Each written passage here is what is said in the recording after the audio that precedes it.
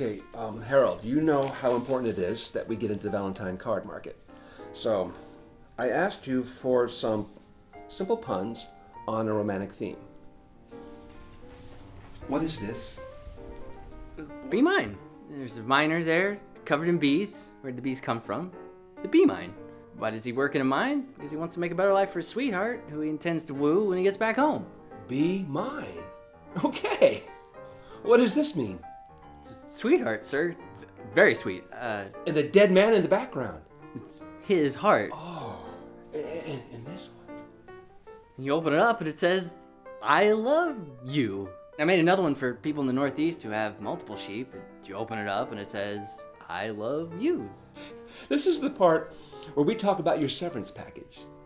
Jesus, Jesus Christ. I had to fire you, and I'm glad I had to fire you. And here, here's the reason why. Because now that we're not working together, now that I'm not your boss, I can, I can.